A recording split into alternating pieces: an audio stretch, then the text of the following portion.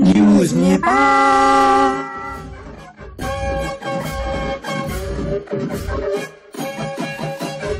श्री प्रेम सुवाल त्यसपछि माननीय सदस्य गणेश पराजुली।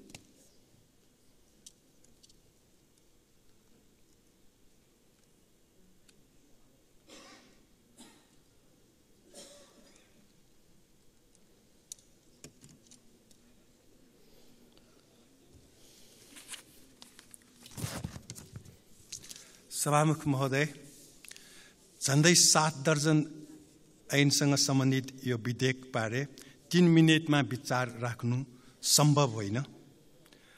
र यो संशोधनको विषय देश र जनताको हितमा आएको भए स्वाभाविक होला तर अस्वाभाविक ढङ्गले संविधान घोषणा भए लगतै दुई तिन हप्तामा संशोधन भयो।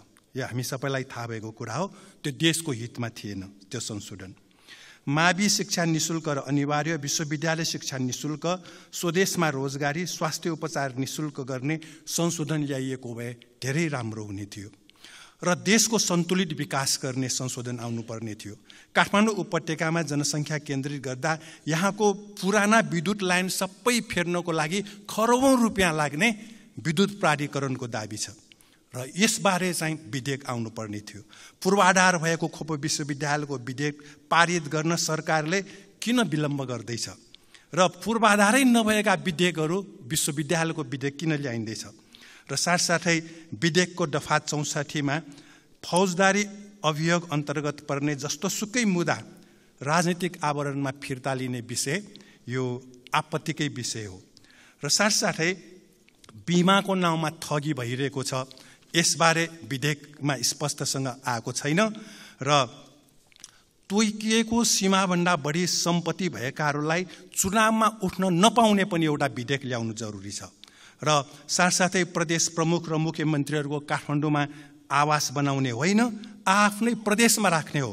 काठमाडौँमा आउँदा त जनताले होटेल खोलेकै छ नि दुई चार दिन बस्नलाई। यत्रो अरबौँ रुपियाँको सानो दरबार बोलाउनु जरुरी छैन। र भारतको निर्भरमा खाद्यान्न भएकोलाई कृषि उत्पादन बढाउने विधेयक ल्याउनु पर्ने हो र कृषिसँग बुझ्नेहरूलाई कृषि समितिमा कृषि मन्त्रीमा राख्नुपर्ने हो। अहिले हाम्रो देशमा त्यो भइरहेको छैन। जमिनदार र सामन्तहरूको छोराछोरीबाट कृषि उत्पादन हुँदैन। जोत्नेलाई जमिन हातमा थेला र गोडामा हिलो भएकालाई जमिन दिनुपर्छ।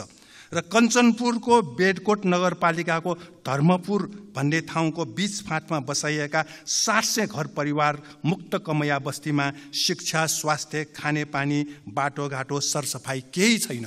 त्यसको लागि विधेयक आउनु जरुरी छ र भागबन्दा मिलेपछि समिति गठन हुने यो चाहिँ ठिक छैन र सरकारले पुल्चोक इन्जिनियरिङ कलेजलाई सर्वसाधारण जनता पढ्न नसक्ने गरी शुल्क वृद्धि गराएको तत्काल फिर्ता गर्न लगाउनु पर्छ र वाइड बडी जहाजदेखि गिरिबन्धु टी स्टेट लगायतको भ्रष्टाचार छानबिन हुनुपर्छ। त्रिपन्न सालमा गिरिबन्धु टी स्टेटको उन्नाइस बिघा जग्गा अरबौँ भ्रष्टाचार गरेर बिक्री भएको भन्ने आएको छ।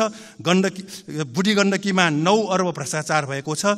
काठमाडौँ ठमेलको कमल पोखरी भाँसेर छाया कम्प्लेक्स बनाउन दिने र उद्घाटन गर्ने भ्रष्टाचारीहरूलाई कारवाही हुनु पर्दछ र संसारका कतिपय देशमा भ्रष्टाचारमा संलग्न राष्ट्रपति र प्रधानमन्त्री जेल सजायमा गइरहेका छन्। अमेरिकी पूर्व राष्ट्रपति भर्खरै गए तर नेपालका भ्रष्टाचारमा संलग्न राष्ट्रपति र प्रधानमन्त्री मन्त्रीहरू जेलमा किन जान्दैन भन्ने प्रश्न उठिरहेको छ। धन्यवाद।